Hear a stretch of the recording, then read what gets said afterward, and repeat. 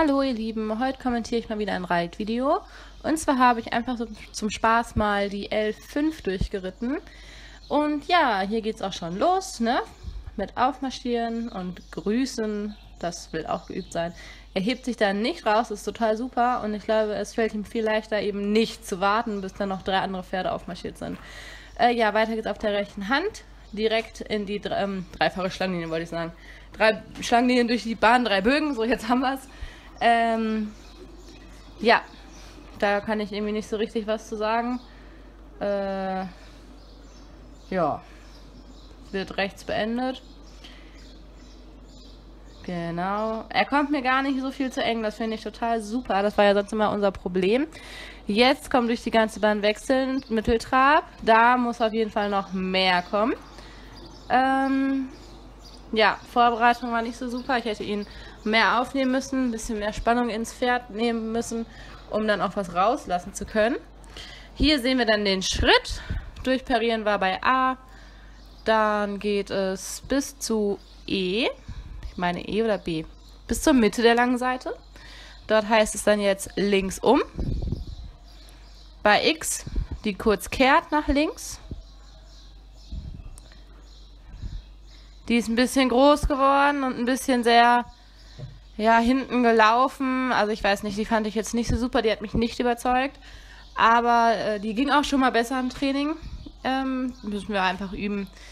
Jetzt bei A heißt es gleich anhalten, rückwärts richten. So, warten wir mal.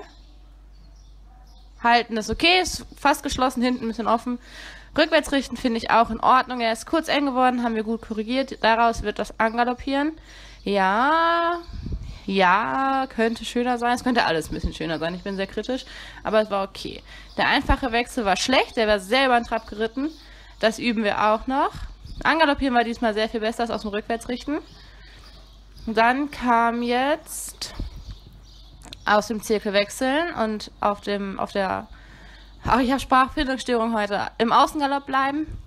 So, da rennt er mir sehr weg, sehr flott. Ähm, ja, einfacher Wechsel praktisch nicht da. Es war ein schöner Übergang zum Trab, ein schöner Übergang zum Schritt. Angaloppieren, direkt nächste lange Seite Mittelgalopp. Den finde ich ganz in Ordnung. Da könnte auch noch mehr kommen, mehr Ausdruck. Ähm, aber nach dem verpassten Wechsel und dem hektischen Angaloppieren und dem Mittelgalopp kommen, fand ich es in Ordnung. Hier nochmal durch die halbe Bahn wechseln, überstreichen. Dann bei F zum Trab durchparieren.